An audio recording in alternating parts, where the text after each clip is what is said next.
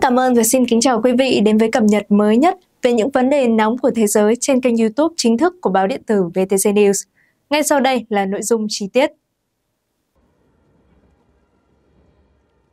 Khi được hỏi liệu quyết định điều chuyển cựu Bộ trưởng Quốc phòng Nga Sergei Shoigu làm thư ký Hội đồng An ninh Liên bang có phải là động thái giáng chức ông hay không? Phát ngôn viên Điện Kremlin Dmitry Peskov cho biết, tôi cho rằng đây không phải câu hỏi phù hợp. Ông Peskov nói thêm, đây là vị trí rất cao trong chính phủ, phụ trách hàng loạt nhiệm vụ rất quan trọng với cả đất nước. Người lãnh đạo cơ quan này luôn duy trì liên lạc trực tiếp với nguyên thủ quốc gia và có trách nhiệm to lớn. Tổng thống Nga Vladimir Putin vừa qua đã ký sắc lệnh điều chuyển Đại tướng Sergei Shoigu sang làm thư ký Hội đồng An ninh Nga. Hội đồng An ninh Nga là cơ quan tham mưu giúp việc Tổng thống trong điều hành nhà nước, hoạch định các chính sách đối nội, đối ngoại, quân sự trong lĩnh vực an ninh, duy trì ổn định trật tự chính trị xã hội, bảo vệ quyền lợi và tự do của nhân dân. Hội đồng họp định kỳ một tháng một lần. Cơ quan này nằm dưới sự lãnh đạo của Tổng thống Putin, người giữ chức Chủ tịch Hội đồng, và ông Dmitry Medvedev, Phó Chủ tịch. Ngoài ra, ông Shoigu cũng giữ vị trí Phó Chủ tịch Ủy ban Công nghiệp Quốc phòng. Về mặt kỹ thuật, đây là công việc được coi là ở cấp cao hơn so với vị trí Bộ trưởng Quốc phòng. Ông Peskov cho biết, thư ký Hội đồng An ninh Nga Sergei Shoigu sẽ giám sát công việc của Cơ quan Hợp tác Kỹ thuật Quân sự Liên bang. Ông sẽ không đứng đầu cơ quan này. Ông Dmitry Sugayev mới là người lãnh đạo. Theo sắc lệnh của Tổng thống Putin về cơ cấu mới của Cơ quan Hành pháp Nga, Cơ quan Hợp tác Kỹ thuật Quân sự Liên bang Nga, trước đây thuộc quyền kiểm soát của Bộ Quốc phòng Nga, đã được đặt dưới sự chỉ đạo trực tiếp của Tổng thống. Trong khi đó, Tổng thống Putin đã đề cử quyền Phó Thủ tướng phụ trách kinh tế Andrei Belousov thay thế ông Sergei Shoigu trở thành Bộ trưởng Quốc phòng. Giải thích về quyết định này của Tổng thống Putin, ông Peskov cho biết, việc tích hợp nền kinh tế của quân đội vào nền kinh tế quốc gia là rất quan trọng. Ông Belousov đã chứng tỏ là khá thành công trong việc lãnh đạo Bộ Phát triển Kinh tế và sau đó làm trợ lý kinh tế cho Tổng thống trong một thời gian dài. Được biết, ông Shoigu là Bộ trưởng Quốc phòng tại nhiệm lâu nhất của Nga. Tuy nhiên, ông Shoigu đối mặt nhiều chỉ trích sau khi Nga phát động xung đột ở Ukraine tháng 2 năm 2022. Là lãnh đạo cao nhất của Bộ Quốc phòng, ông đã vạch chiến lược đánh nhanh, thắng nhanh, nhưng kế hoạch tác chiến nhanh chóng bộc lộ nhiều lỗ hổng, cho thấy người lãnh đạo thiếu kinh nghiệm và tầm nhìn về tác chiến. Một quan chức Bộ Quốc phòng Mỹ đã từ chối bình luận về các cuộc tấn công gần đây của lực lượng Ukraine nhằm vào vùng Belgorod của Nga. Một quan chức Bộ Quốc phòng Mỹ giấu tên nói với Sputnik, chúng tôi sẽ để các quan chức Ukraine lên tiếng về các cuộc tấn công gần đây mà lực lượng Kiev đã tiến hành ở khu vực Belgorod của Nga. Hội đồng An ninh Quốc gia Nhà Trắng cũng đã không trả lời yêu cầu bình luận của phóng viên Sputnik về vấn đề này. Trước đó, Đại sứ Nga tại Mỹ Anatoly Antonov cáo buộc Mỹ phớt lờ các tội ác chống lại dân thường của Kiev khi không một quan chức nào của Lầu Năm Góc phản ứng trước vụ tấn công của Ukraine vào thành phố Belgorod. Đại sứ Nga cũng cáo buộc các phương tiện truyền thông quốc tế đã phớt lờ thực tế thành phố Belgorod bị tấn công ít nhất 10 lần một ngày. Trong khi đó, người phát ngôn Bộ Ngoại giao Nga Maria Zakharova cũng cáo buộc việc pháo kích nhằm vào dân thường, cơ sở hạ tầng dân sự, bệnh viện, trường học và các cơ sở xã hội khác đã trở thành thương hiệu của Tổng thống Ukraine Zelensky với sự hỗ trợ của các nước phương Tây. Vừa qua, lực lượng Ukraine đã tiến hành một cuộc tấn công xuyên biên giới quy mô lớn nhằm vào thành phố Belgorod, phía tây nam nước Nga. Hoạt động quân sự này của Kiev đã khiến một phần của tòa trung cư tại Belgorod bị sập sau khi chúng mảnh vỡ tên lửa của Ukraine. Tính đến cuối ngày 13 tháng 5, số người chết trong vụ sập tòa nhà dân cư nhiều tầng ở Belgorod thuộc Nga do pháo kích của Ukraine đã tăng lên 19 người. Cũng trong ngày 13 tháng 5, khu vực biên giới Belgorod đã tiếp tục bị tấn công. Bộ Quốc phòng Nga thông báo hệ thống phòng không nước này đã bắn hạ 16 tên lửa và 31 máy bay không người lái do Ukraine phóng vào lãnh thổ Nga trong đêm. Thống đốc vùng Belgorod Vyacheslav Gladkov xác nhận 5 ngôi nhà bị hư hại ở Belgorod. Theo thông tin sơ bộ, không có người bị thương trong trận tập kích vào khu vực này.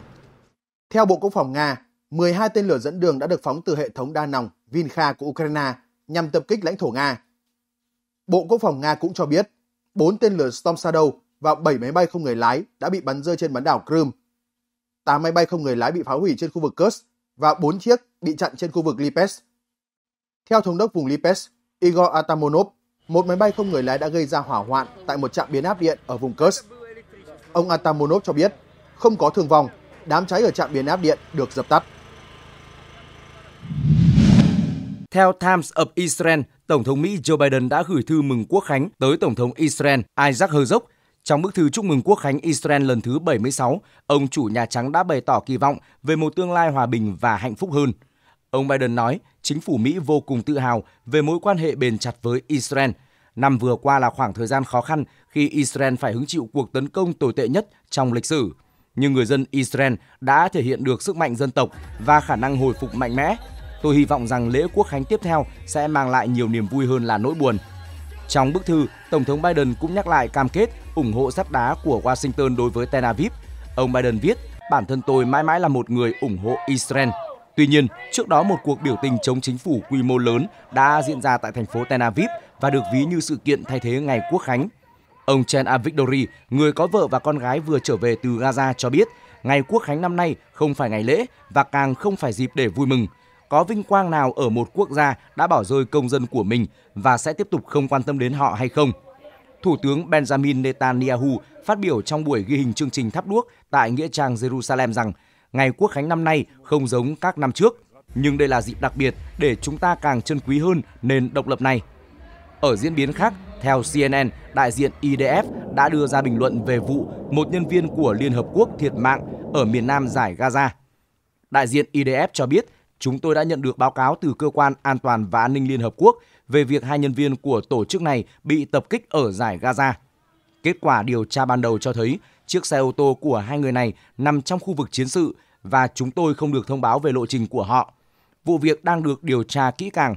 Trong khi phát ngôn viên Liên Hợp Quốc Rolando Gomez khẳng định cơ quan này thông báo cho giới chức Israel về lộ trình di chuyển của tất cả đoàn xe. Điều này diễn ra tại bất cứ chiến trường nào và là quy trình vận hành tiêu chuẩn. IDF và Liên Hợp Quốc chưa quy trách nhiệm cho bên nào thực hiện vụ tấn công. Ngoài ra, Tổng thư ký Liên Hợp Quốc Antonio Guterres cũng đã gửi lời chia buồn tới gia đình nạn nhân.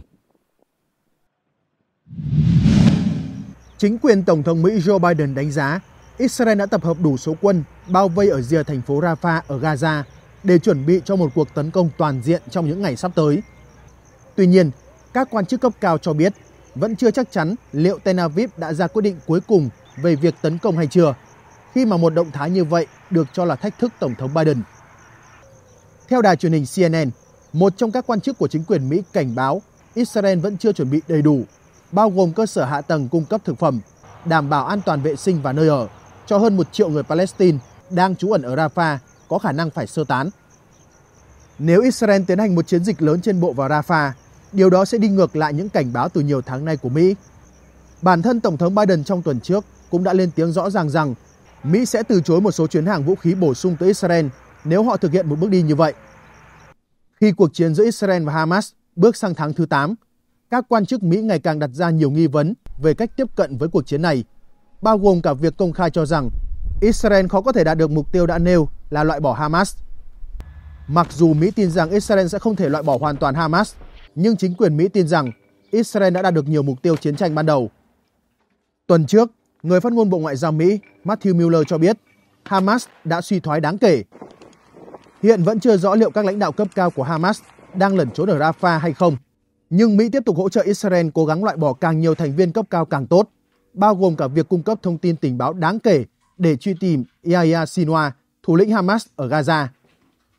Bên cạnh nỗ lực để hai bên đạt được một thỏa thuận trao đổi con tin và lệnh ngừng bắn, chính quyền Tổng thống Biden cũng đang tăng cường sức ép lên Israel để bắt đầu tập trung nghiêm túc hơn nhiều vào các kế hoạch Gaza thời hậu chiến. Theo một trong những quan chức chính quyền cấp cao, việc Israel không quan tâm đến cái gọi là kế hoạch hậu chiến là nguyên nhân khiến các cố vấn của Tổng thống Biden ngày càng thất vọng.